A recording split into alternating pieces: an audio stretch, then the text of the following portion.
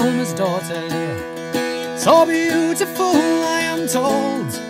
Her parents, they died and left her 500 pounds in gold. So she lived with her uncle.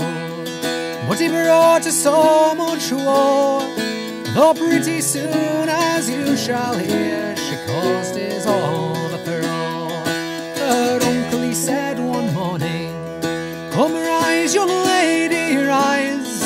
For there's a wealthy squire's son waiting for you outside.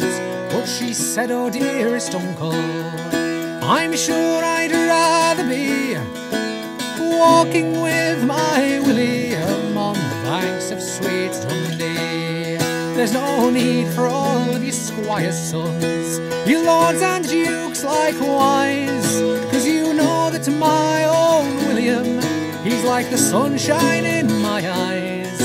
He said, unruly female, you ne'er shall have baby, you ne'er shall marry, William, on the banks of sweet Dundee.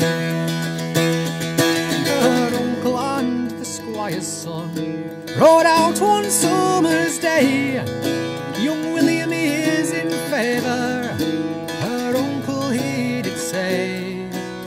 Bind him then, said the squire's son, and hang him from a tree. But her uncle he said, Let the press gang come and take him off to sea.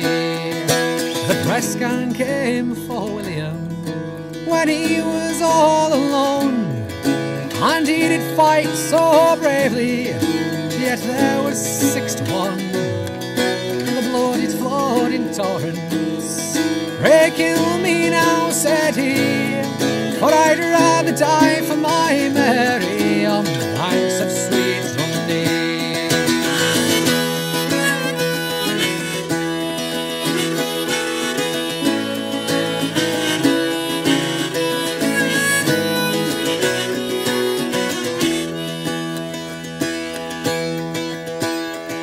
It chanced that she went walking, lamenting for love.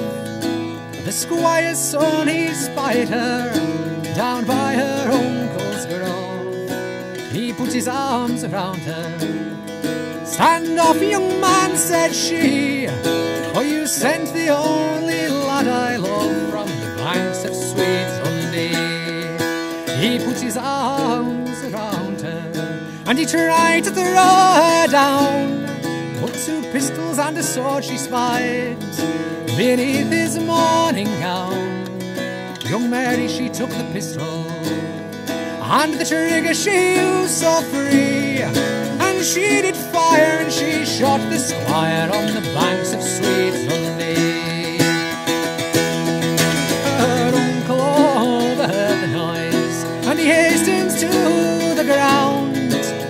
Since you have killed the squire's son, I'll give you your death wounds. Stand off then, cried young Mary. Undaunted I will be. Then the trigger she drew, and her uncle she slew on the banks of sweet Dundee.